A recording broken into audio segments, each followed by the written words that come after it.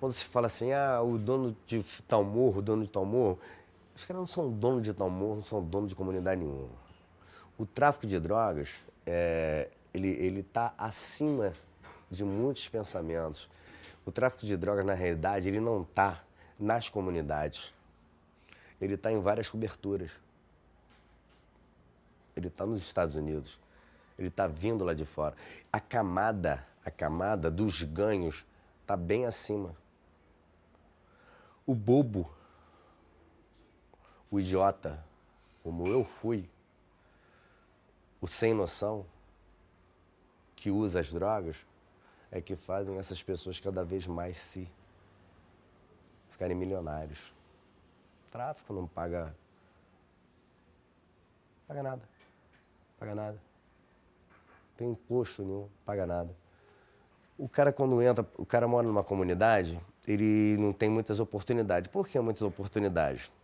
A única secretaria que tu vê entrando na comunidade é a Secretaria de Segurança Pública.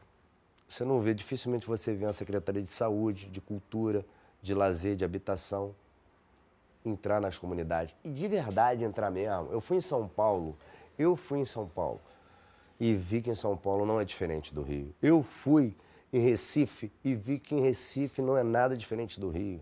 O crack em Recife está monstruoso. Eu fui em Minas e não é nada diferente do Rio. O crack em Minas tá, tá um negócio de louco. Louco, de louco, de louco, de louco. Eu fico pensando nessa, nesses jovens agora. Se não tiver um tratamento, porque isso não é, não é caso de polícia, não, rapaz. Não é caso de prisão, não. É saúde. O crack é constatado, só não vê quem não quer ou quem não quer fazer. As pessoas têm que ter clínicas, clínicas para fazer um tratamento. O crack mata em seis meses. Mata em seis meses. Quando eu falo da hipocrisia da sociedade, muitos sabem que muitas pessoas, elite, usam drogas. Agora, o cara que mora na favela, na comunidade, ele, ele além dele não ter uma autoafirmação, dele querer o melhor para ele, isso eu digo é, não é 100% não, generalizando não, estou falando 5%, 2%.